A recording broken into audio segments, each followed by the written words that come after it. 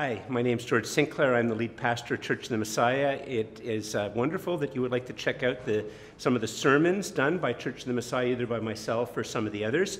Uh, listen, just a couple of things. First of all, would you pray for us uh, that uh, we will uh, open God's word well uh, to his glory and for the good of people like yourself?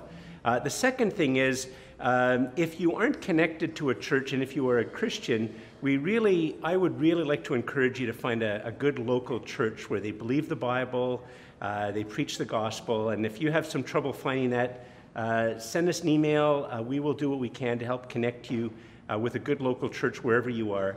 And um, if you're a non Christian checking us out, we're really, really, really glad uh, you're doing that. Uh, don't hesitate to send us questions. it helps me actually to know as I'm preaching how to deal with the types of things that you're really struggling with.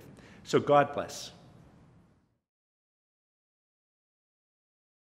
Standing for a second, let's bow our heads in prayer.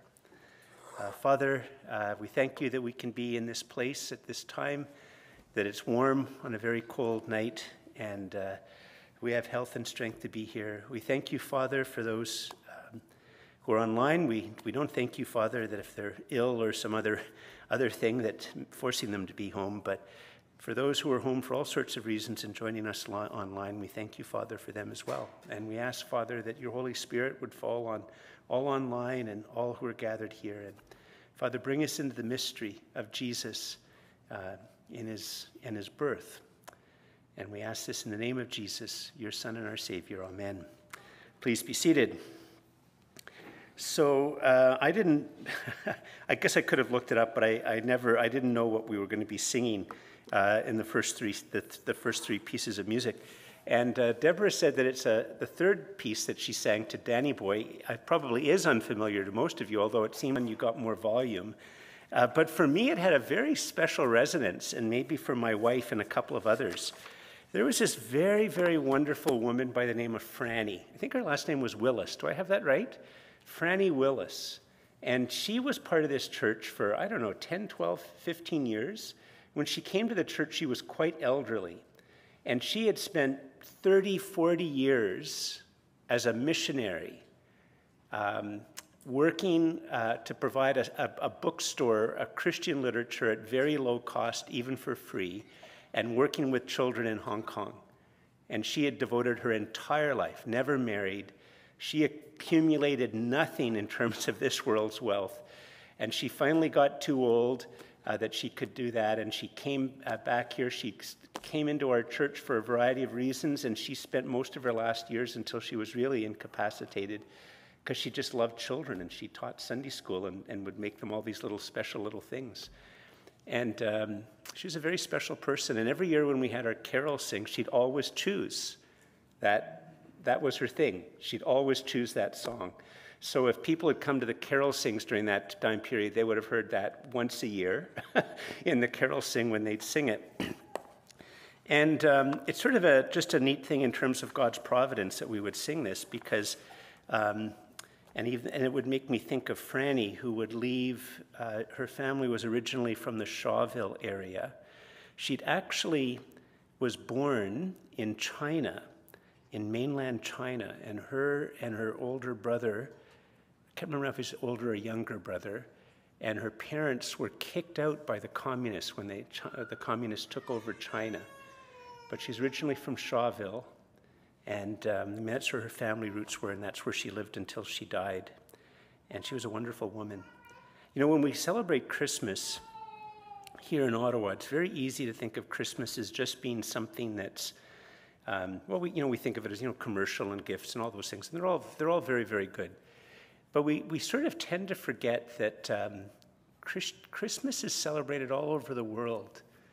That, um, I mean, we might be not that many here or online, you know, but we have brothers and sisters in Christ who've celebrated Christmas already in Australia, Korea, throughout all of Asia, Indonesia, Asia, Kazakhstan, Europe, sweeping across to us, and it'll keep going. And people of all races and tribes and languages will celebrate Christmas. And not only that, but it, it goes down the corridors of time that Christmas has been celebrated by Christians for, for centuries and centuries and centuries and centuries. Uh, one of the things that Daniel Avitan and I decided we would do this year, a little bit different, trying to figure out what text to preach on on Christmas. And uh, there's this thing that not many people know of anymore because it stopped fundamentally being used by most churches sometime in the mid 60s, early 70s, not that long ago. I know that seems like 100 million years ago to young people, but it's not really that long ago. But there was this common system of Bible reading on Sunday mornings that went right back to the 400s and even earlier and was used, it's been used therefore for over 1,600 years. Over 1,600 years it was used. And that means it was used, you know, back in the Roman Empire and then as, the, as, as, as, as Christianity spread throughout the entire globe, that for 16, over 16 centuries, these would be the scripture passages that churches would read on a Sunday morning when they were, on a, on a morning when they were celebrating Christmas. And, and, and, and actually, one of the things which is really cool about it, there were two systems of reading texts. And when Charlemagne became the, the emperor, he picked, and, and he wanted to try to unify the empire. So what he did is he picked the epistle readings from one system and the gospel readings from another so that both sides were satisfied and united them together. And, and these two texts, um, it's funny, they, don't, they didn't choose the, the Christmas stories. They chose these two texts which talk about ideas and what the story means. That are that these are things are some of the deepest truths that I mean they can't even be imagined. You ju- you just have to think about them and ponder them and, and receive them. The deep truths that underlie the very very simple story. I mean that's one of the things which is so wonderful about Christianity. Is on one hand it's stories that children can learn about Jesus walking on water, Jesus feeding the 5,000, uh, Jesus healing the, healing the man born blind, and we can know the diff- many of the aspects of the story of his birth, but at the same time, these, these stories are all embedded in these very profound ideas. And we're going to look very briefly at that this, this evening. But before we do, let's just sort of get the story straight in our head. So uh, we're going to watch our first mini movie, and it's called The Wrong Christmas.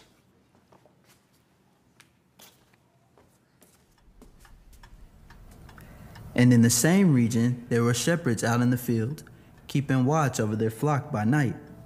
And an angel of the Lord appeared to them, and the glory of the Lord shone around them, and they were filled with great fear. And the angel said to them, Fear not, for behold, I bring you good news of great joy that will be for all the people. For unto you is born this day in the city of David a Savior, who is Christ the Lord. And this will be a sign for you you will find a king wearing a magnificent crown. No, Dad, that's not it. Oh, really? L- let me try it again. For unto you is born this day in the city of David a Savior, who is Christ the Lord. And this will be a sign for you.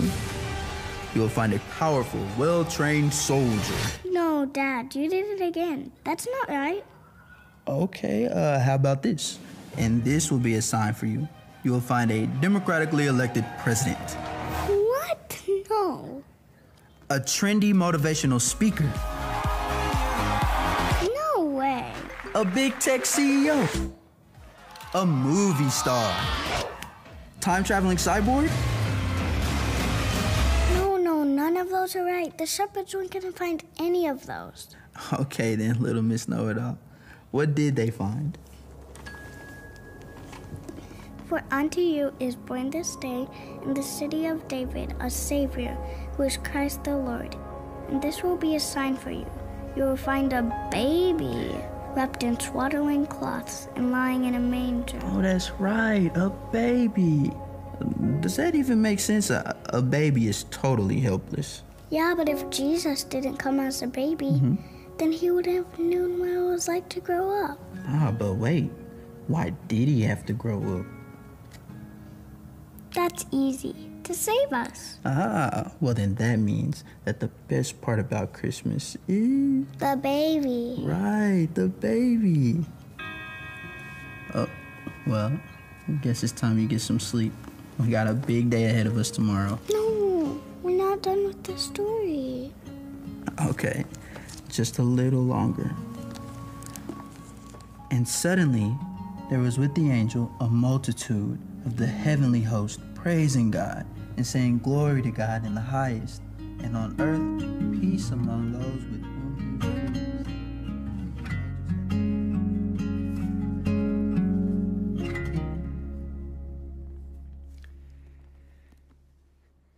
What's important about the thing that the ancient Christians got so right was that what was most important about Christmas was the baby. Who is the baby? Well, if you have your Bibles, we're going to look a little bit about who that baby is in this very, very sort of abstract way, but actually a way that if you pause on the words, you realize it's touching something very profound in our hearts. And it's in Hebrews 1. And um, if you don't have a Bible with you, the words of the, with the text will be up on the screen. And I'm just going to read the first four verses, and then we're sort of going to circle back. And so here's what the text says Long ago, at many times and in many ways, God spoke to our fathers, um, it just sort of means ancestors, by the prophets. But in these last days, he has spoken to us by his Son, whom he appointed the heir of all things, through whom also he created the world. He, that is the Son, is the radiance of the glory of God and the exact imprint of his nature. And he, that is the Son, upholds the universe by the word of his power. And after making purification for sins, he sat down at the right hand of the majesty on high, having become as much superior to angels as the name he has inherited is more excellent than theirs. Now, for most of us, I mean, some of it, if you, if you read it slowly, more like poetry, you can see that there's some things in there which are quite, you know, beautiful sounding. But it seems hard to understand. Like, what does it mean, the imprint of his nature? And uh, what does it mean to, to talk about him um, being the, uh, the radiance of the glory? And, and um, I mean, these are just sort of odd things, and uh, they don't seem very relevant to us. Well, let, let's go back and let's look to see, just think a little bit more about it. And the first thing to notice is this look back at verse 1. Long ago, at many times and in many ways, God spoke to our ancestors by the prophets. But in these last days, He, that is God, has spoken to us, that's you and me, by His Son, whom He appointed the heir of all things, through whom also He created the world. This is something very remarkable and very precious that the God who really does exist is a God who speaks. And he speaks to ordinary people like you and me. And our Jewish friends call what we call the Old Testament the Torah or the Tanakh. And that is the words that God spoke to the people of Israel and to other nations as well. But culminating with all of those words was this final way that God was going to speak to us. He was going to speak to us in a final way in the person of his son. And that just, that means this very person is the guy, the, the means by which God would most completely and utterly reveal himself. He's always the same God speaking. And the rest of what we now call the New Testament is either the words of Jesus or just those who knew him, helping us to understand what he taught and, and who he said he was. And um, and this and the, and the fact that he says that God, the same God who speaks, is the God who created the world. Well, that's actually a very remarkable idea. Maybe if you just watch this video, it'll help you to understand a little bit about just how remarkable this truth is. If we could watch the next video, that would be good.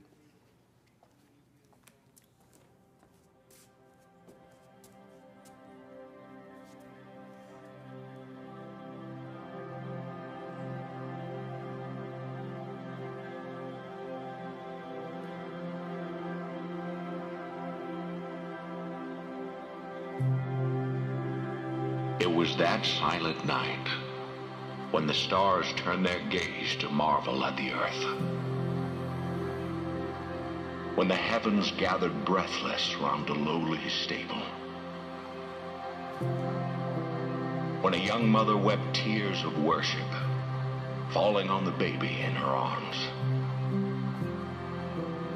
And the song of the earth arose in Bethlehem soft as the tender beating of his heart. And all was calm, all was bright. Yet could this be the same God of Abraham, the conqueror of Israel? This baby, this fragile life?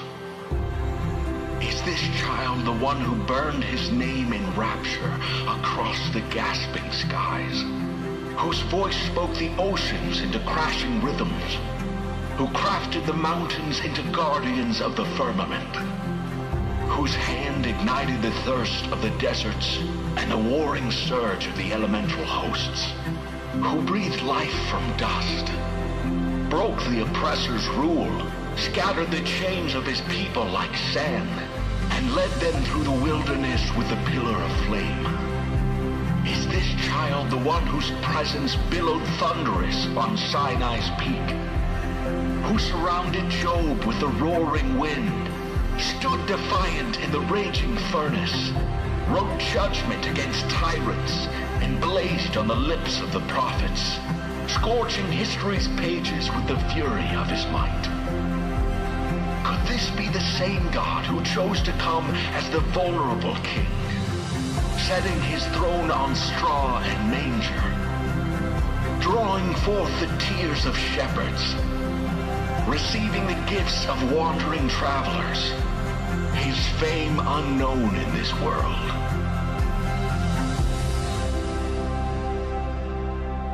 He is Jesus, the one who thunders through the heavens yet whispers to our hearts, who reigns victorious, yet bows to serve the broken. He is God in the fury, God in the silence. He holds this mystery balanced in his hands, holds our questions till they lose their need, until all we see is him.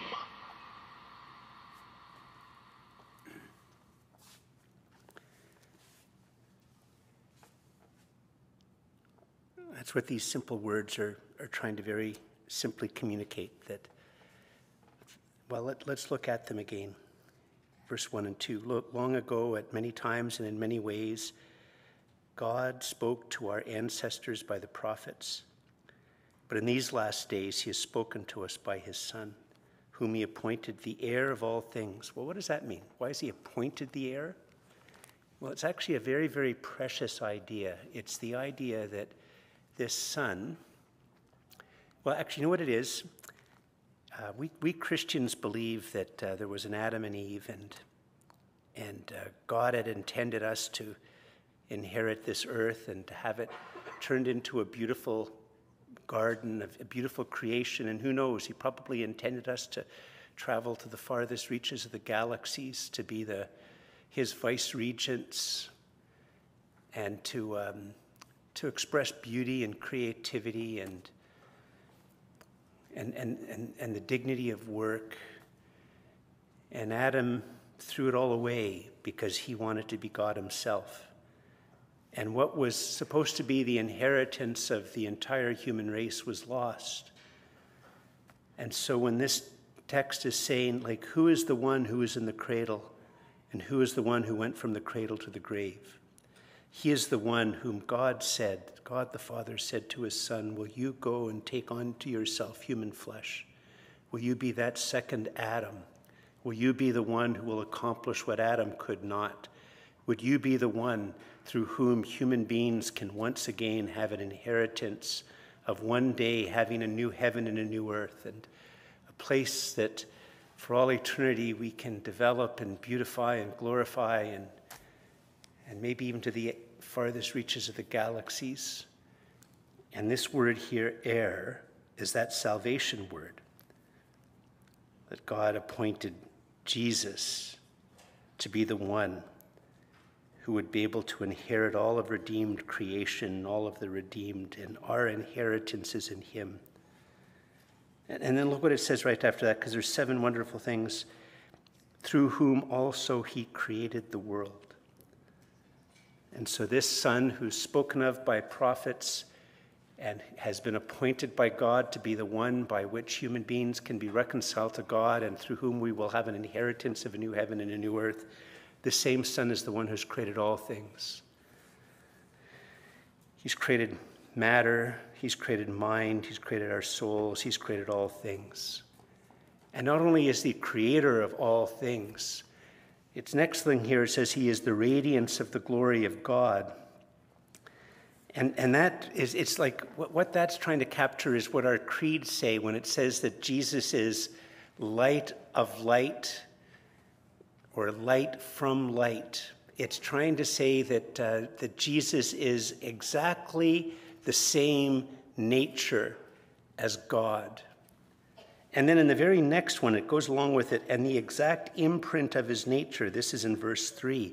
That's trying to capture the same thing when it says in the Creed that um, of one nature with the Father. And it's, it's this, this image that's trying to balance the idea of light from light as if, you know, there's just light.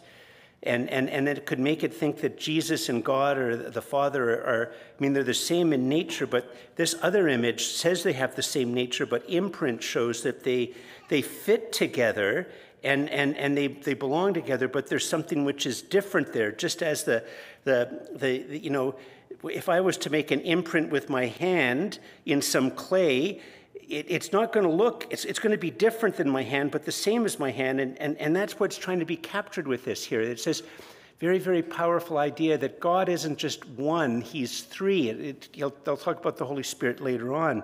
And, and, and so the Son, who is going to, to be the means by which we human beings can enter into an inheritance of grace uh, in, in a new heaven and a new earth that will go on for all eternity, that this, this one who does this is also the creator. He's, he's also the one who's exactly the same nature as God. And yet he's, he's different from God because he's, he's a second person.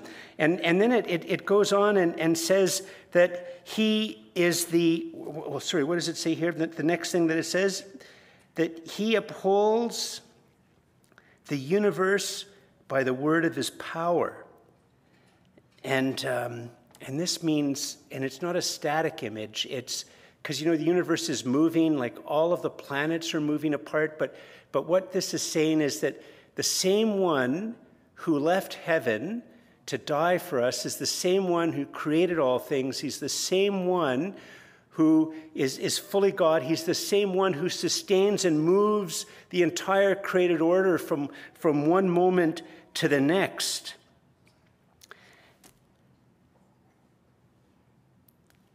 And yet, yet he's a man. He's a man. That's what it's trying to, to communicate.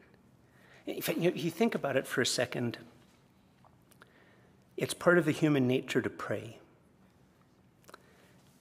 Agnostics and atheists pray. Hindus pray. Buddhists pray. Muslims pray. And they pray from their heart they pray out of their need. They pray even though it might be in many of those cases that their ideas about the nature of the world would say that it's completely ridiculous to pray. But when we pray, we're not praying, we're, we're praying to a God that we believe actually is sustaining the universe and carrying the universe from one moment to another and because he's sustaining the universe and carrying it from one moment to another, it makes complete and utter sense that we would call out to him when our heart is desperate and we need his help.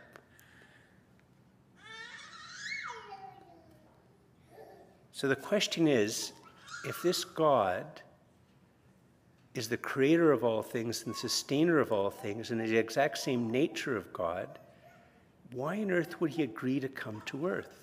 Well, this next movie will help us to understand that a little bit better.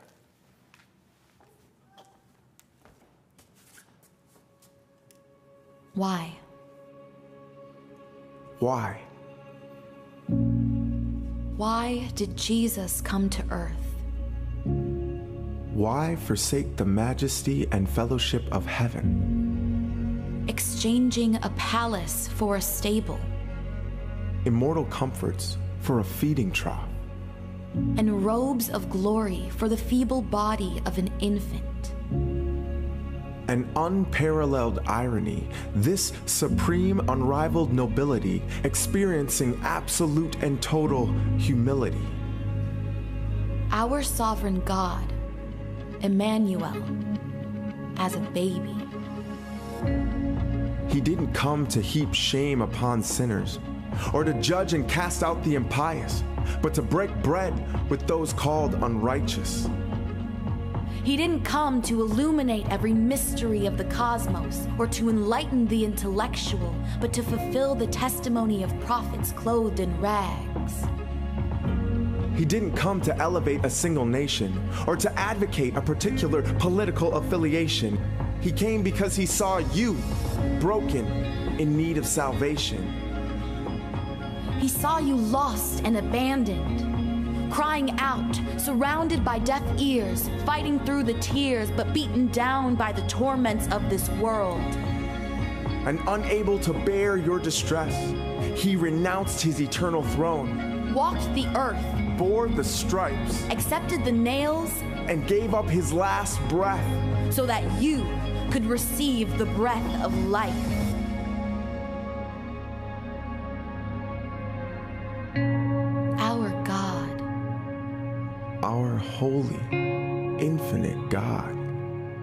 Beheld your pain perceived your heart. and determined that your soul was worth dying for. From the manger to the cross to the empty tomb, It is all a story of profound love, of a Savior who rescued his children from darkness. Of a blameless king who declared that no sacrifice was too great for the sake of his beloved creation. Why did Jesus come to earth? He came for you.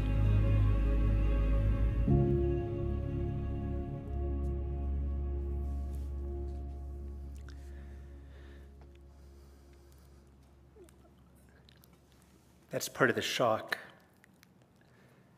that uh, in the cradle is the one who would provide the means and by which we could have an inheritance. That that same one in the cradle is the one in the cross. That that when we see the cradle, we are seeing the creator of all things. When we are seeing the cross, we are seeing the creator of all things. When we see the cradle, we see light of light, God from God. And that's who we see in the cradle, and that's who we see on the cross. And when we look at the cradle, we are seeing the one who is the imprint, the exact same nature of God, and that's who we see dying on the cross. And when we see the cradle, we are seeing the sustainer and mover of all things, and that is who we see on the cross. If you could put up the diagram, as you're going to be able to see, uh, I have to look at it myself. I, I hired a team of high priced graphic designers uh, for this illustration. This is a very simple way for you to understand what the book of Hebrews is trying to get across. You have God, and then this very, very solid line which represents creation. We Christians would call it creation. Another way to, to put it, but it wouldn't fit in here, would be everything else. and the question is on which side of the line does Jesus fall? Does he fall with and everything else, or does he fall on the line above? Actually, if you think about it for a second, this simple little diagram, especially if you take away the word creation and just say everything else, in some ways it explains the difference of the different religions in the world. In many ways, our Muslim friends, it's all about God, and in a sense, in many ways, it's creation's almost as if it's completely and utterly irrelevant just to God. To our Buddhist and Hindu friends, creation is something which has been a bit of a problem and eventually will be gotten away with, and they'll just be God. And for our agnostic and atheist friends, you get rid of the God and you just have everything else without God.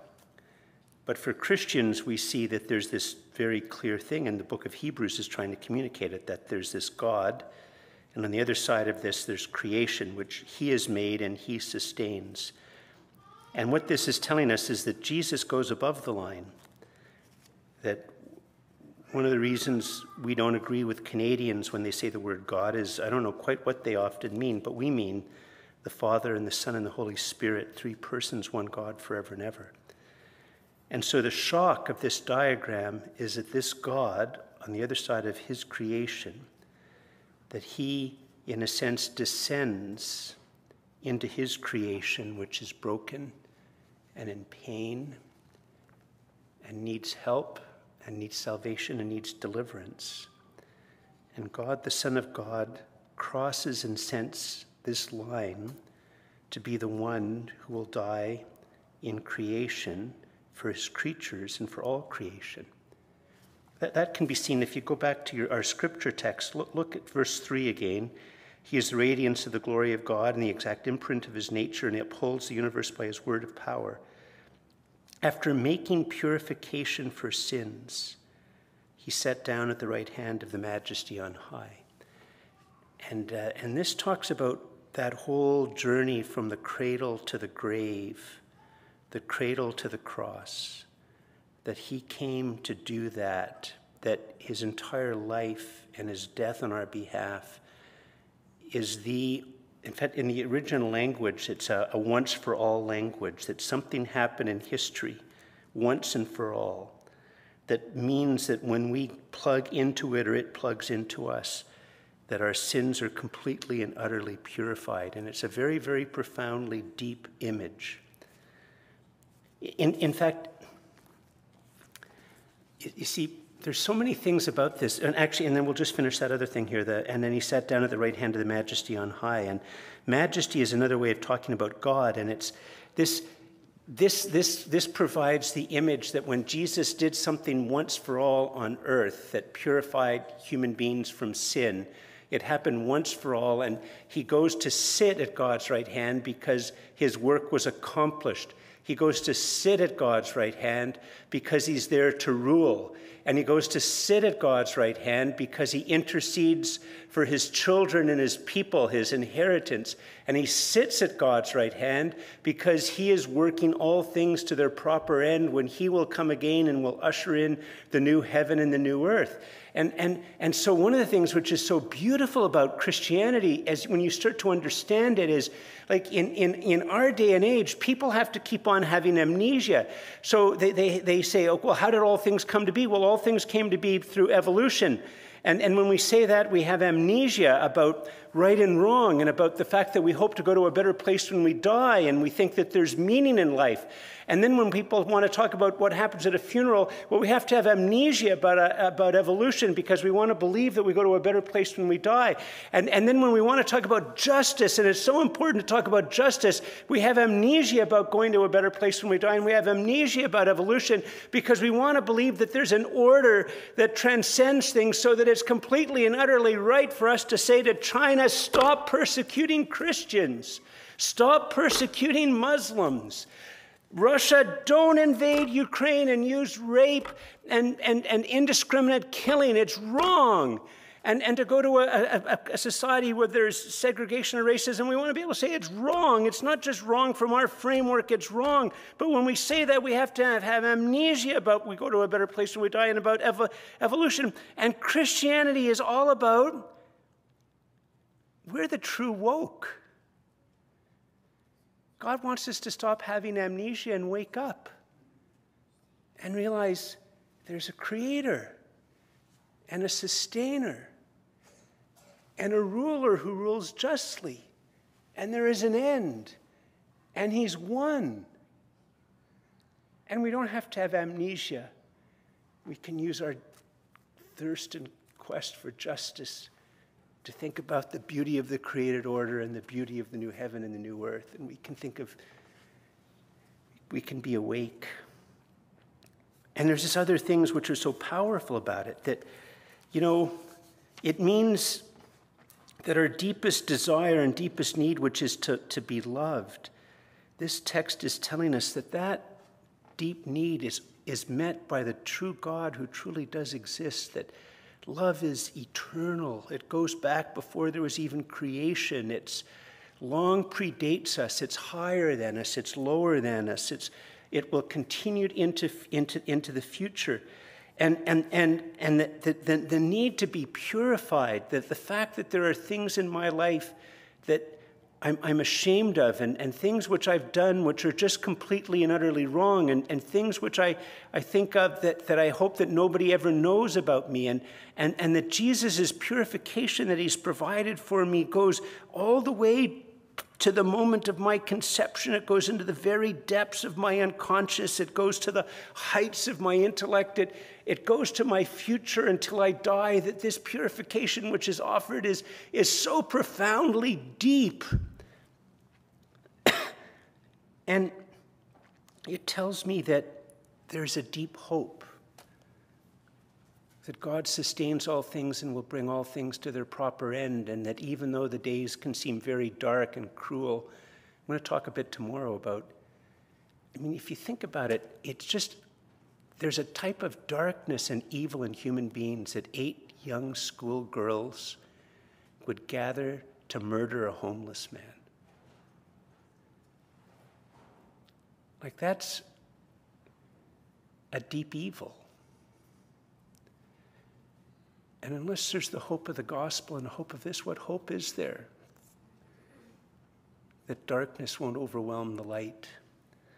But there's a deep hope that the one who redeemed me is the one who created all things, who sustains all things, who rules. And there's a deep humility that he did it all for me, that I'm, I'm deeply loved, but it is a, a love that can't create narcissism. It's humbling. And it's a love that propels the ones who've been gripped by it, to make a difference in this world for His glory. And that's what I'd like to leave you with, with this final video. And then I'll ask you to stand and we'll pray. Let's watch the final one.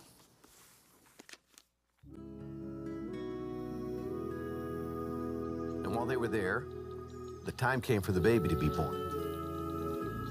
She gave birth to her firstborn, a son and she wrapped him in cloths and placed him in a manger because there was no room for them in the inn. Where does the creator of the universe send his son? Where does the Prince of Peace make his entrance? A barn, a stable, a, a manger of all places. Certainly no place fit for a king. But then again, this was no ordinary king.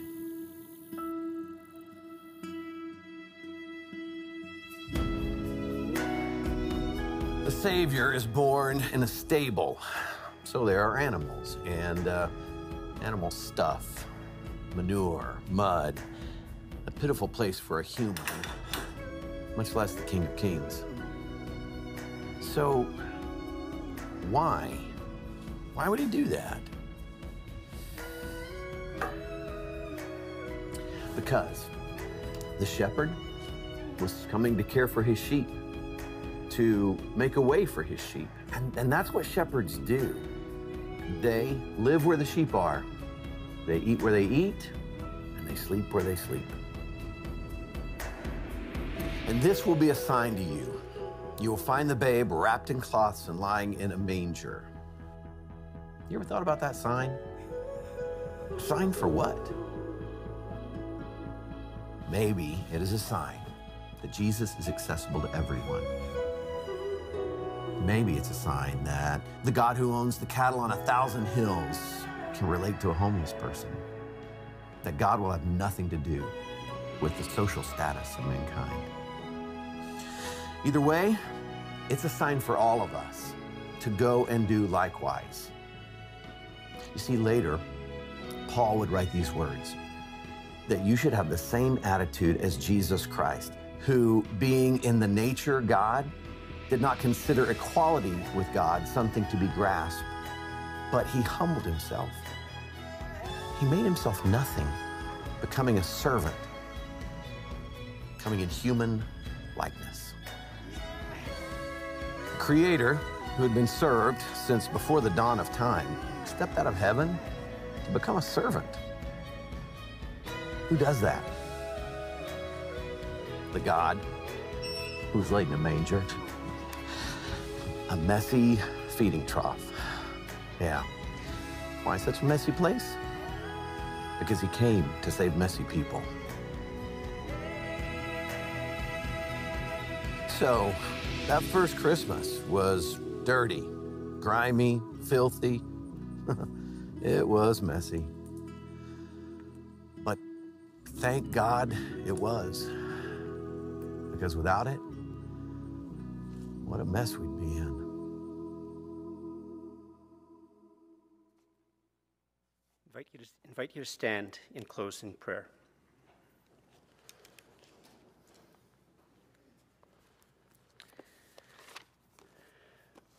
Father, we thank you that uh, Jesus set aside his glory and splendor and prerogatives and appearance as God, that he took into himself our human nature, that he entered really, truly humanity as a zygote in Mary's womb, that he had a humble birth, that he lived a humble life, that he suffered the trials and temptations that we suffer only without sin, that he was truly Emmanuel, God with us, God among us.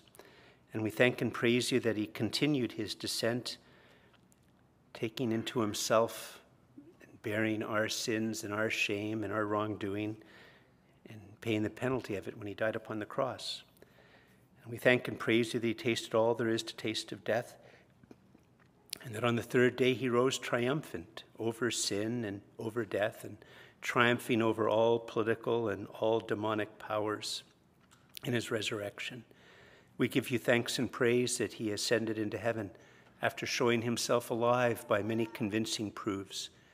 And we give you thanks and praise that, Father, he is in heaven beside you, that he intercedes for us, that he not only is in heaven interceding for us, but he is still Emmanuel who walks with us day by day as we deal with the things we need to deal with day by day. And we give you thanks and praise that he will come again in glory, that there will be the judging of the living and the dead and that the redeemed will enter into the new heaven and the new earth that will be created by him for us as our home for all eternity. We ask, Father, that you would grip us with this wonderful truth, these wonderful truths of the person of Christ and his wonderful work for us. And that as we are gripped by that, that we will have hope. We will have hope to build and create and to sing, and to work acts of mercy and compassion and justice knowing that, Father, you are our Father in heaven, and this is your world. So grip us with the gospel, grip us with the wonder of who Jesus is and the wonder of his birth for us. And we ask these things in Jesus' name, your Son and our Savior. Amen.